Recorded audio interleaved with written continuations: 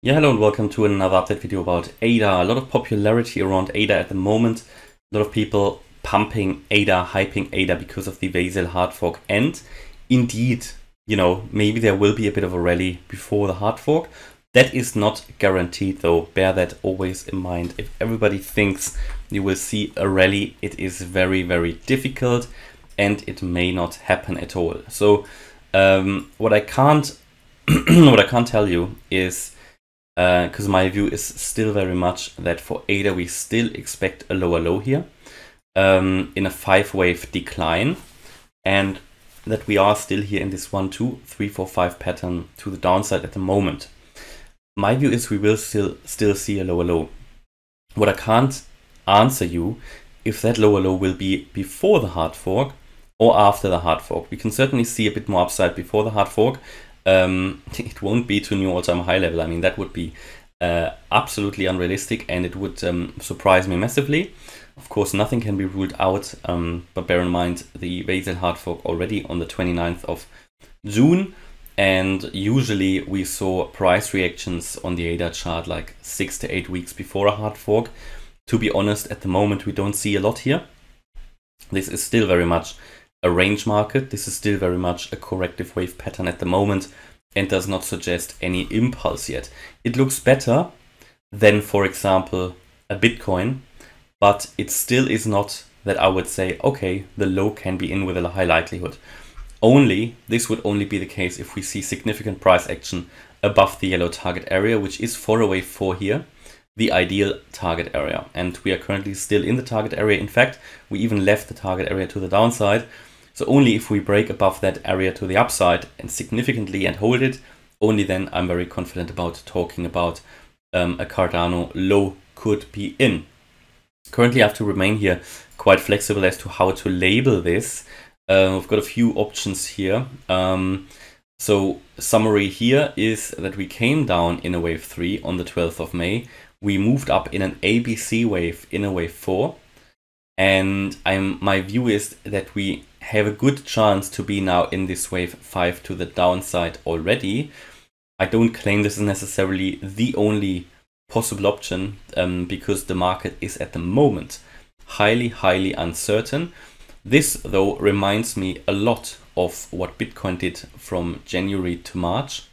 This sort of slightly upward sloping channel out of which we then broke out to the downside. Yeah, um, can just um, maybe we can have a quick look at the Bitcoin chart just to show that to you. Um, because just because we are moving up does in no way mean that we are back in an uptrend. So what I'm talking about is this wave pattern here that just reminds me of what ADA is doing at the moment. Of course, this year was much more complex, but you also had an upward sloping channel um, we had strong moves to the upside that were then sold off again. And uh, in the end, we had a massive reaction here to 48.5k and then moved down and crashed to 30k. So this is something we just need to keep in mind. And um, yeah, I mean, I would love ADA to go up massively.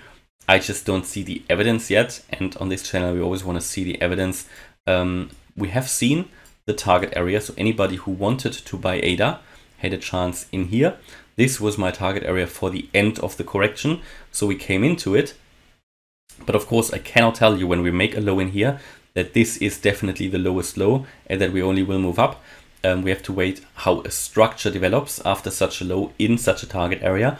And at the moment, I can tell you that my view is that the structure here is still very corrective, which would mean we will come down once more lower.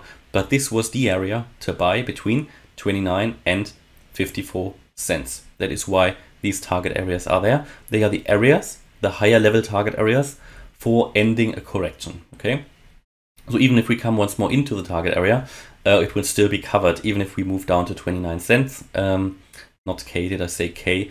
So if we move up down to 29 cents, then it would still be covered by, um, yeah, this overall correction. And uh, yeah, so we can still go into the target area once more. That's what I'm saying. And the likelihood is still very high, even because we haven't even made anything crazy here to the upside. And nothing that would convince me at the moment that the low is already in. So looking at this in a little bit more detail, I tell you that we could have seen here the purple wave 2 already. Is that likely or not? And this is where we currently have to say we are here in a state where we just need to wait for price action because there is the option that this is over, this wave 2. However, um, we would need we would need to stay below 60 66.9 cents. If we don't, then this wave 2 will continue. Um, we have seen a strong reaction now from up here and a move below the wave B, which would be at 60.1 cents, would suggest that we have a wave 3 here in purple already unfolding. So this is the level we need to watch the wave B low at 60.1 cents. If we go below that level, it would confirm, in my opinion, or at least be a really good indication that here the wave 3 to the downside is unfolding.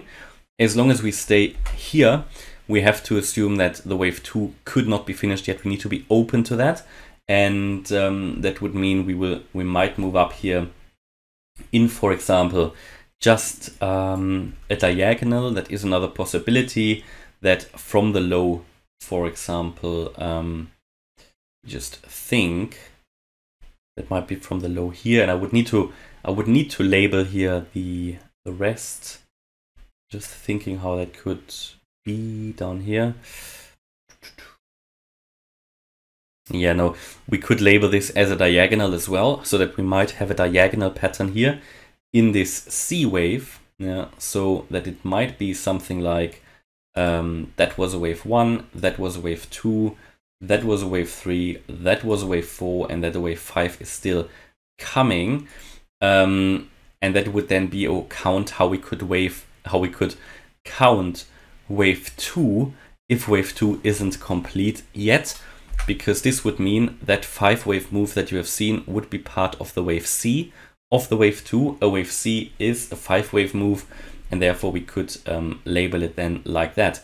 But for that scenario, if I put it on the chart again, that wave 5 here is not allowed to move above 68.7 cents, so not above not above that level, 68.7 which is the high on the 31st of May.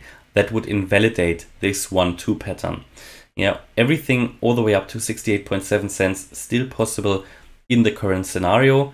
Um, a move above 66.9 cents would make it um, would make me think that the wave 2 hasn't been completed and a move above 68.7 would suggest that the wave 4 hasn't been completed. It would not be bullish, okay? It would not be bullish. We want to use the elliott waves here to understand from which point we are getting bullish and we are um, going to see an impulse. At the moment, this is not impulsive, I can tell you that. Um, if we move, as I said, below 60.1 cents, then it could suggest that we're already on our um, in our five wave decline here yeah, that might finish off then the wave 3 to the downside there. And at some point I do expect the move down. If this is already the move down we need to see, we need to break first of all 60.1 cents. As long as this isn't happening, we are in a range market here between the 60.1 and the 66.9 cent level. And we need to wait here for a breakout and a decision of the market, which we might not get before the CPI data is released today, but then there are opportunities, um, either a long opportunity to the upside or to the downside here, a short opportunity for anybody who wants to do it. Um, again, no financial advice and only for ADA, only for ADA, significant price action above 75 cents would make me more confident in saying that the low might already be in for ADA. Um, but at the moment, there is just no evidence. There is no evidence. So the only way how we could possibly label that in a bullish way would be a wave 1, a wave 2. This would still have to be the wave 3, then 4 down and 5 up. Yeah, so something like that.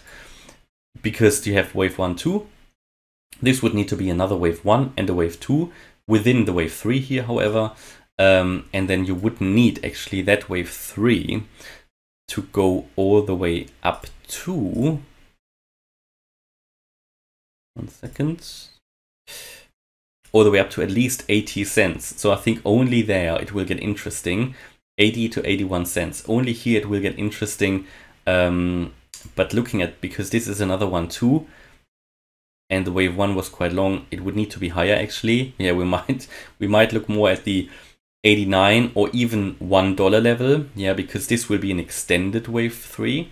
So it will be tough. It will be tough. And, uh, you know, if anybody is waiting for confirmation, you have to possibly sit through quite a bit of a price increase to wait then for another correction. Because if this is a five wave move, you would expect another correction after that in an ABC. Yeah, well, that could come down quite a bit, maybe to the current price range again. But um, yeah, as I said, this this is the problem with with cryptos because they are so volatile and the fib levels are so much extended.